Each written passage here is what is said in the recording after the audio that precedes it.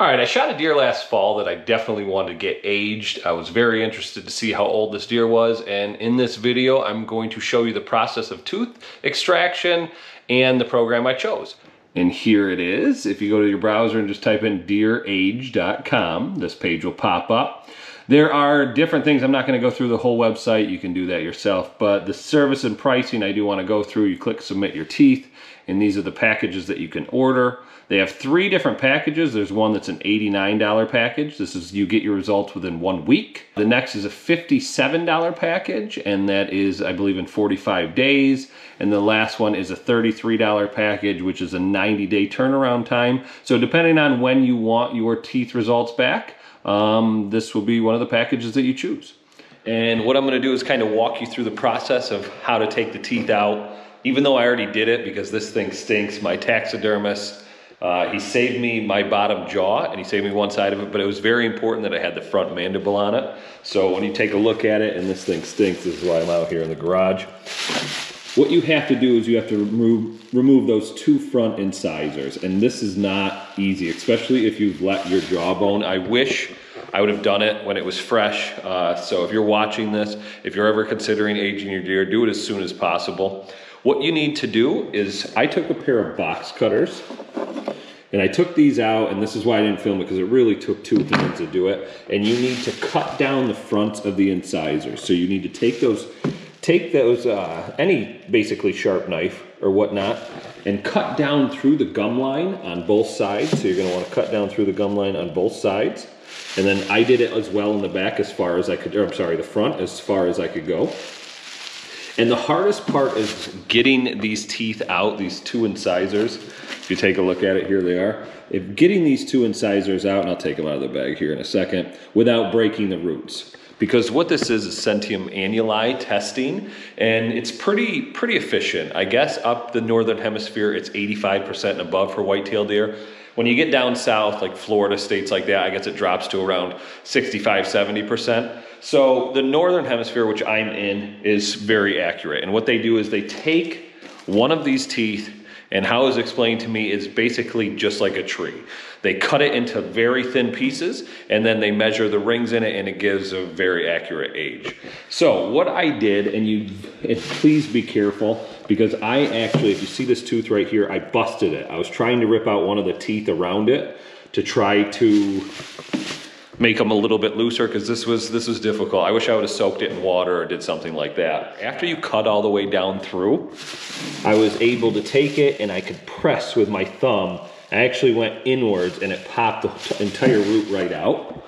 And that's how I got my two uh, samples. Now, they only need one, and I'm gonna try to open this up here. They only need one sample, but they take two just for a backup. And this is what it looks like. There's different grades for these teeth. And what you want is, I'm gonna turn this around. What you want is the entire root showing. So you do want the whole sample. I did get these out without breaking either one of them, luckily. So if, if, if, it's, if it breaks off too much, they unfortunately, they can't age it. And what I'm going to do is I'm gonna show you the kit it came in and then future video, I'm gonna do the unrevealing because I honestly, I moved into this property this year. I had a buck come up, uh, he was one of the lowest scoring buck antler wise but I put him as the most mature. I have no history of him, but I definitely think he's five and a half. It's going to really surprise me if he's under that. Uh, so this is why I'm doing one of these tests for the first time. But Deerage sends you one of these packets. So what you're gonna do is you're gonna get this information, and this one is for you to keep. It's basically like a pamphlet, and they say what they're doing. They show you how to do it. There's three different ways. You can either send in two front uh, incisors, you can cut the whole front mandible off, and it's like for a $5 charge, or you can send the jaw in, and I believe that's over here. They show you, you can send the jaw in. I removed just the two because it wasn't as hard as I thought it was gonna be, but I did worry I was gonna break it. So what I'm gonna do is during this test, I'm gonna put the teeth in this little, where did go? Here it is. I'm gonna put the teeth in this package, seal it up, place it between these two envelopes, and basically send it in the mail. Now, the only thing is, is when you send these teeth in through the mail, you cannot do it through the machine. You gotta tell the post office, whoever you're sending through, because I guess the machines can crush the teeth and ruin your sample. So I'm gonna put this together and uh, send it out tomorrow, and then you're gonna see me open up the results and hopefully knock on wood, hopefully it's over five and a half. If it's not, I guess I'm pretty terrible at aging deer.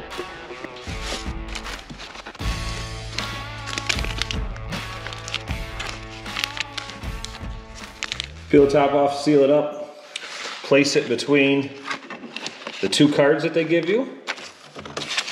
Put it in the pre-envelope package. Seal that up, write my return address, and this is good to go. Now I'm just gonna wait on the results. So without further ado, I want to show you the aging results of my deer. What you do is you click on customer login. And this is, you can see your order history. You go to the shop to order again. They have down here, you can put in the state and see where you rank depending on the year of how old your deer was. But when you click view my samples, here is my results for my deer. And needless to say, I am very excited when I found this out. If you look up here, he was eight and a half years old, so definitely on the decline. Uh, the oldest buck I've ever killed by far. I am very ecstatic about that. Uh, I got it, made a bunch of phone calls afterwards. I was hoping more than five and a half. Uh, definitely knew he was a mature deer. Didn't know eight and a half, but by far the oldest deer I've ever killed. So I will be using this website again for sure in the future. I don't even care if it's if I think it's two and a half, three and a half year old. It's it's pretty unique process. Saw that in the video on how they do everything. And, you know, I definitely give it two thumbs up and recommend it to anybody if you're looking to get your deer aged. Remember to like, subscribe, because we have a ton of deer videos coming out for our deer tour this year, and you're not gonna wanna miss it.